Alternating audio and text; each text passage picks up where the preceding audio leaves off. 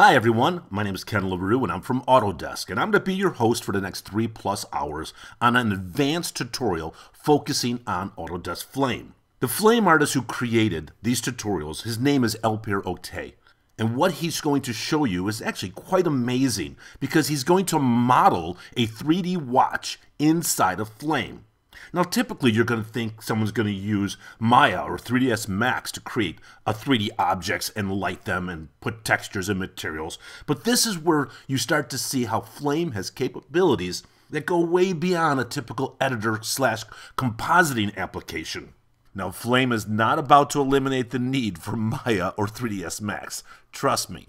But Alper is going to show us how he's able to use the tools inside of Flame to create this very realistic looking 3D watch.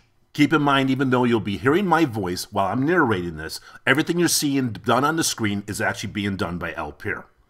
All right, let me introduce you to the man himself, Alper Oktay. He's going to tell you a little bit about himself and also what we're about to cover, and then in the next video, we'll start actually working on the scene. Hi, I'm Alper Oktay from Istanbul, Turkey. I've been working with Flame for 14 years. My professional working life started with Flint version 7 in a national TV channel TV8 doing motion graphics. Then I started to work as an online and finishing artist for TV commercials and motion picture films. I worked for Cinefect for 10 years. I worked with Inferno on Onyx, Flame on Octane and Tezro there.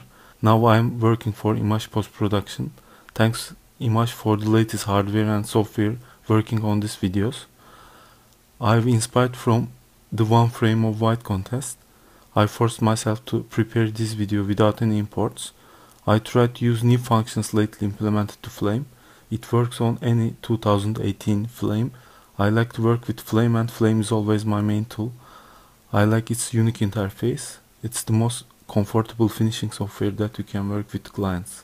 In this video tutorial series, I'm going to tell how I modeled this 3D watch by using 3D shapes, extruding G-masks, displacing images, using camera FX and the other things. This is the main setup with icons on. I'll close the icons. Uh, first, in the first video, I'll show how I modeled this base with the date indicator.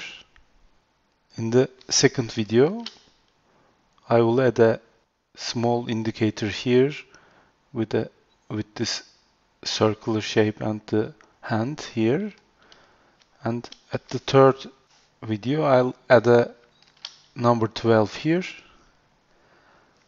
And I'll add some graphic materials and flame logo here in the modeling base videos, fourth video. At the fifth video, I'll show this metal case, the material assigned to it, PBR material, the effect of the depth of field, and the light setup.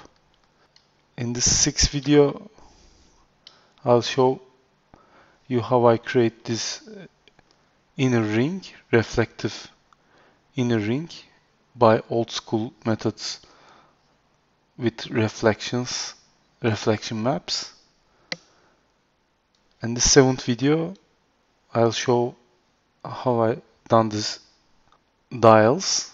In the eighth video, I'll show these buttons, the crown shaped buttons and the rounded buttons. And in this video, ninth video, I'll show the hands and materials on it on them and finally the render with camera effects, reflections occlusions shadow cast depth of field and other settings